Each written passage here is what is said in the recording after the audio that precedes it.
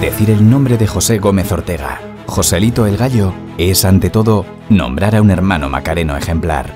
Por eso ahora, 101 años después de su trágica muerte en Talavera de la Reina, la Hermandad de la Macarena sigue agradeciéndole todo lo bueno que hizo por esta corporación y por los vecinos de la Macarena, especialmente por los más necesitados, siempre movido por su profunda devoción a la Virgen de la Esperanza.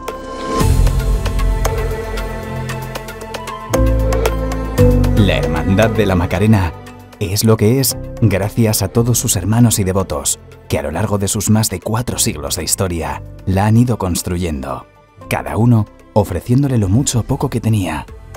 Sin embargo, entre nuestros hermanos hay algunos sin los cuales la historia de la hermandad sería inexplicable por su excepcionalidad y trascendencia, y José es uno de ellos.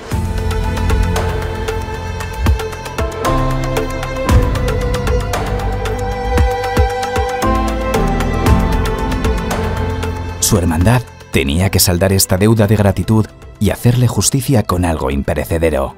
El monumento a su figura, creado por el escultor Manuel Martín Nieto, tenía que oler a Joselito, mostrándonos en toda su grandeza al torero y héroe popular que nos desvela su alma macarena y su condición, como escribió Muñoz y Pavón, de hombre bueno.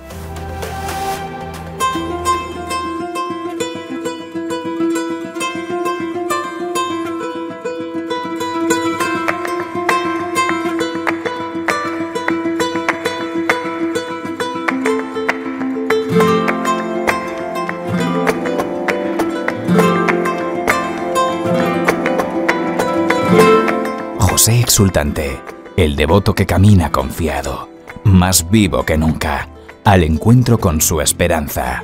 Joselito que acude a la llamada de la esperanza vestido de luces, como en las grandes tardes, para presentar su ofrenda de hijo agradecido.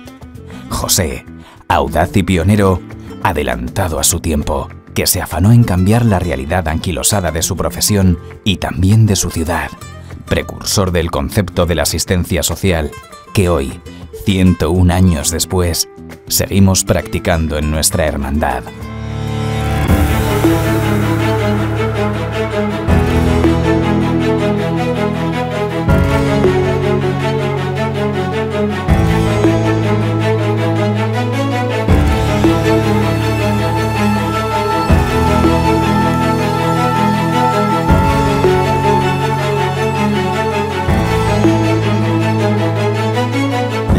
No hacemos nada extraordinario con José.